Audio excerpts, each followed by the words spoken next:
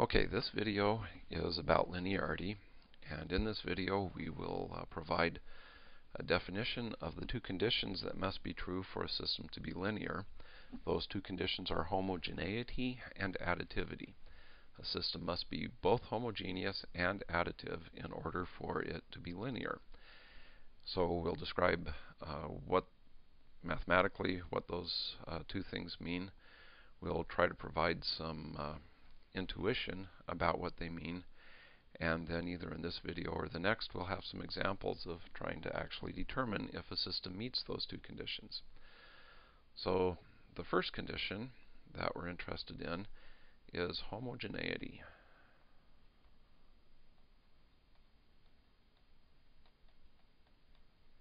Okay, and homogeneity can be described in this way. Suppose we have a system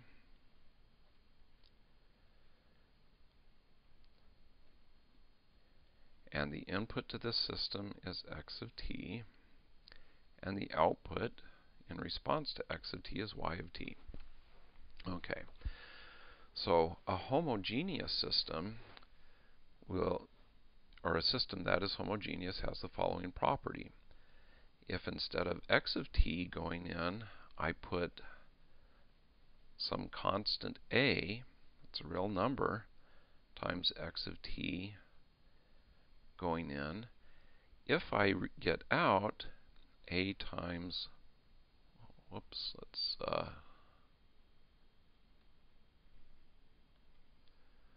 a times y of t, then the system is homogeneous. So conceptually what this means is if I have a particular input so we've got a particular input here. Uh, let's just assume for now it looks something like a sinusoid. And this input leads to a particular output. Um, say something that looks like this. I don't know why. Ooh, that's ugly. I don't know why it would look like that, but well, in fact, well, yeah, okay. Um, if I take my input now and scale it by a factor of a. In this case, let's make a be about 2 so the input gets twice as big. Then the thing that happens to the output is it's twice as big.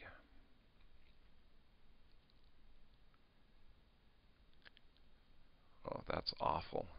That art is terrible, and that's a really ugly. Uh, um, that's uh, that's that's an awful looking output function. But anyway, uh, the idea hopefully makes sense. So the idea is that you uh, uh, a system is homogeneous if uh, you scale the input and that leads to scaling the output. Okay, so that's the first condition that has to be met in order for a system to be linear. The second condition that has to be met in order for a system to be linear is additivity.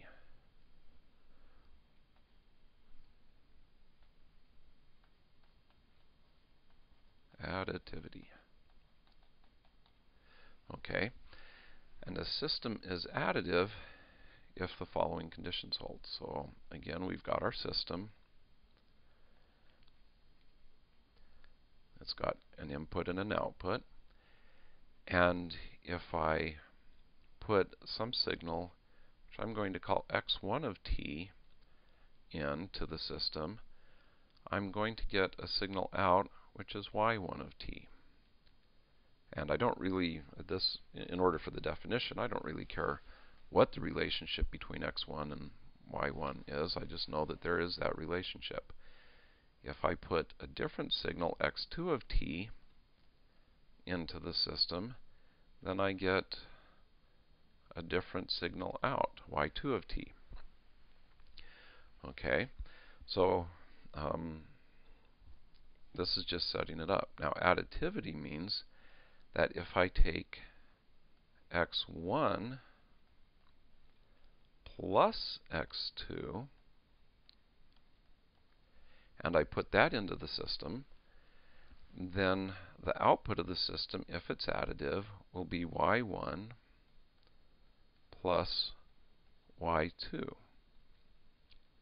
So in other words, if, uh, again, y1 is the response to x1, y2 is the response to x2, if I take then x1 and x2, add them together, and run that through the system, I should get y1 plus y2. So graphically, um, well, let's see if we can put together something that uh, not completely hard to follow. So if I have an input, suppose that this rectangular pulse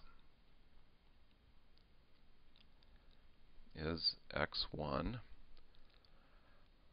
and the response of my system to x1 is maybe something that goes like this and then goes back down. Okay, so this would be y1. And I um, have as x2 maybe another rectangular pulse, but this one goes negative. Okay, so this will be x2. And uh, let's suppose that the response of the system to this x2 is something that looks like this. So this would be y2. Okay. Now, if the system is additive, then if I put in a signal that's x1 plus x2, so that signal would look something like this. Okay, so this is the sum of x1 plus x2. Then the output of the system, again, if it's if it satisfies additivity, should be the sum of y1 plus y2, which will look something like this. Okay, so again, if the system is additive, then I should be able to um, determine what the output of the system in response to the sum of two things would be. So um, I think at this point we will um, end this video and then the next video will be some examples of trying to determine if a system, uh, if different systems are linear.